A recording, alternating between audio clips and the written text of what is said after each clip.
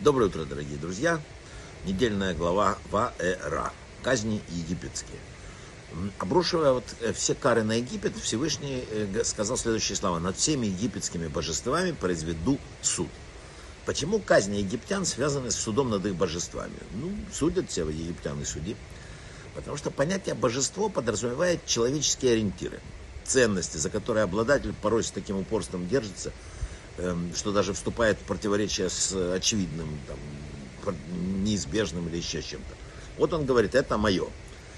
А если они оказываются предательски ненадежными, несостоятельными, ложными, то он за это расплачивается.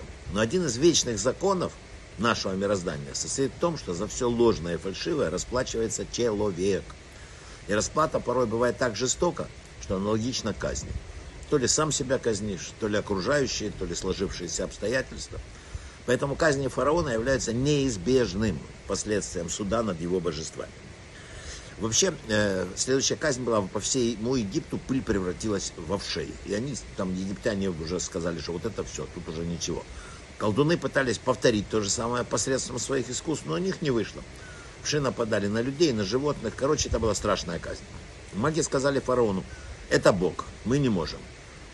Одна вещь заставляет Бога смеяться. Это когда он смотрит, что человек пытается бросить вызов небесам. Есть слова такие псалмов, царства восстают, э, правители собираются вместе против Бога, давайте разрушим э, э, наши цепи, говорят они, а Бог смеется над ними. Есть такая история Вавилонской башни, которую мы с вами обсуждали. Люди решают построить город с башней, которая достанет до небес. Это решение акт неповиновения воли божественного порядка. Небеса написано для Бога, а людям земля. Нет, мы говорим, мы пойдем на небо. Тора говорит, Бог спустился, чтобы увидеть город и башню. И здесь на земле строители думали, что достигнут неба, он смеялся над ними. И все, потому что ну, где Бог, где человек. Вы понимаете, это очень смешно. Волшебники, которые считали, что могут контролировать Солнце, Луну и Нил, обнаружили, что они вождь создать не могут. И так любой волшебник на земле, который противостоит Богу, вши не может создать последних поколениях, вот появился когда дарвинизм и все остальное, люди во множестве полагают, что они создали сами собой. Обезьяна там, та та та та та Но дистанция, особенно в башке, в голове у человека, между тем, кто считает, что создался сам собой, и тем, кто считает, что создал себя сам, как говорил фараон, она малюсенькая, это одно и то же. Как люди говорят, что вообще, если у них есть хоть одна извилина, как можно говорить, что жизнь создалась сама? Наука, на которую так опираться, говорит, что вероятность самопроизводства э, одной, одной, одной, самозарождения одной молекулы, бактерии даже, да, это 10 минус 39 950, то есть, ну 40 тысяч, 10 минус 40. Знаете, что это такое? Ну вот представьте себе, рассказывать такую историю. У директора компании государственных лотерей 20 детей. Перед каждым тиражом, который проходит раз в месяц, Каждый покупает ребенку по билету. Каждый январь выиграл старший, февраль, средний. И так каждый, все 12 выиграли каждый год главный приз. Ну, кроме налоговой инспекции, кто-то поверит в это все? Нет. Так вот, это одна вероятность того, что такое произойдет, 19, что вообще такое может произойти, в 10 тысяч раз меньше, чем зарождение одной молекулы.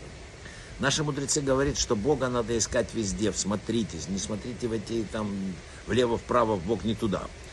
Что сказал Бог Маше, когда он подошел к нему? Сними обувь с твоих ног, стряхни обыденность, которая сковывает твою сущность.